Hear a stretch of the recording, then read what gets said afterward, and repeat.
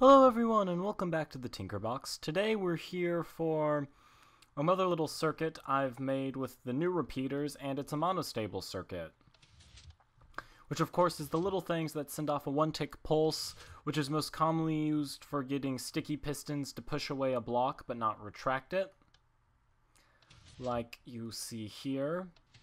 Pretty neat, pretty neat. Um, I enjoy it a lot. Now, when you look at the one I traditionally use, this one may look more compact than this one, but let's look at this here. This is 1, 2, 3 by 1, 2, 3 by 1. So that's a 9 block area it's taking up. Whereas this one is 1, 2, 3, 4 by 1, 2 by 1, 2. So that's again 1, 2, 3, 4 by 2, that's 8, by another 2, that's 16. So this whole build here actually takes up almost twice as much actual volume in a build than this one over here.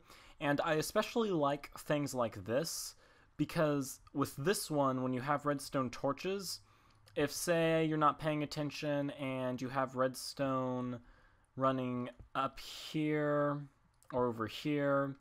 Uh, these torches are going to mess up circuits that are directly above them, while this monostable circuit, you can put redstone directly above it without having to worry about the torches interfering with it. Okay, now how to build this is really easy. It's one repeater, two repeater, three repeater. Bring redstone around. No need to set delays or anything and then just put a piston over here for the output so we can see it in action.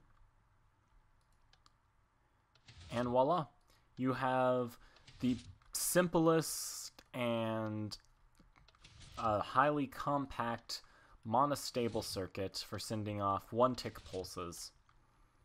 Pretty cool stuff. I hope you guys enjoyed it. Please consider like, commenting, and subscribing, and I'll see you in the next video. Toodles!